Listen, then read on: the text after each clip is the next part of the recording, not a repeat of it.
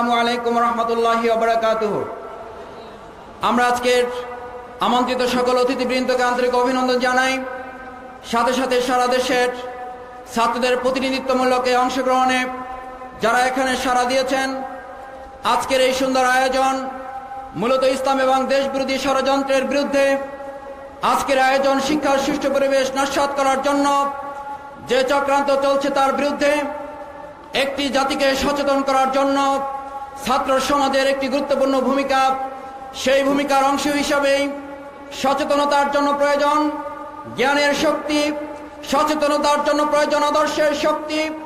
ইসলামী ছাত্র শিবির আজকের এই জাতীয় ছাত্র সমাবেশের মধ্য দিয়ে জ্ঞানের শক্তির বলয়ে গড়ে ওঠা, আদর্শের শক্তিতে গড়ে ওঠা একটি ছাত্র সমাজের অংশকে নিয়ে নয়, আমরা প্রতিনিধিত্ব করার মধ্য দিয়ে আগামী সুন্দর সোনার বাংলাদেশ করার জন্য এই বিশাল জাতীয় ছাত্র সমাবেশ প্রমাণ করেছে।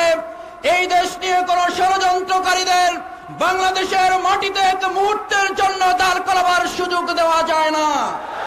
ইসলামী ছাত্র শিবির মেধা এবং নৈতিকতার সংকট পূরণে ঐতিহাসিক ভূমিকা পালন করে যাচ্ছে বলেই অপপ্রচার পাহাড় সমান সীমাবদ্ধতাকে সামনে রেখে নয়। পাহাড় সমান ষড়যন্ত্রকে মোকাবেলা করে এদেশের মানুষের ভালোবাসা এবং সম্প্রীতি নিয়ে আমরা যে আজকের আয়োজন করেছি, আমাদের বিরোধিতাকারী নয়।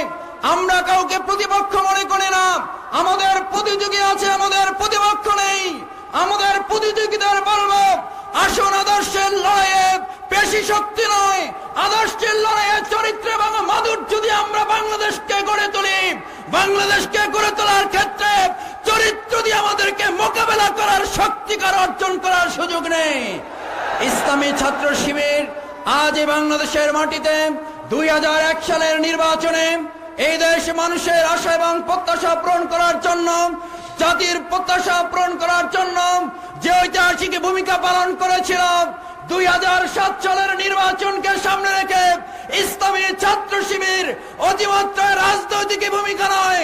ছাত্র রাজনীতিতে সচেতন রাজনৈতিক ভূমিকা পালন করে সকল গণতন্ত্র এবং দেশের ষড়যন্ত্রের বিরুদ্ধে ঐক্যবদ্ধ ভূমিকা রাখার জন্য সাত সালে আমরা তার দ্বিগুণ প্রস্তুতি বাংলাদেশের মানুষের পাশে দাঁড়াবো।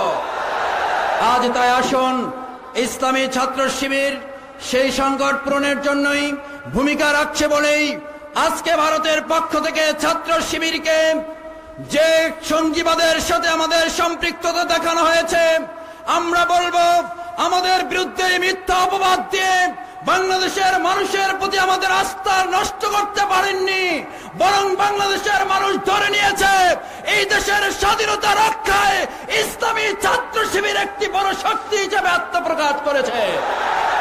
আজ তাই বলব, ইসলামী ছাত্র শিবিরের এই কর্মী বাহিনী ইসলামী ছাত্র শিবিরের সাথে একাত্মতা পোষণকারী এই ছাত্র সমাজকে আজ উদত্ত আহ্বান জানাব। আসুন, বাংলাদেশের প্রত্যেকটি ছাত্র সমাজকে, প্রত্যেকটি ছাত্র বন্ধুদের কাছে আল কোরআনের আহ্বান পৌঁছিয়ে চারিত্রিক এবং মাধুর্য সৌন্দর্য দিয়েই আমরা সকল ষড়যন্ত্রের মোকাবেলা করতে চাই।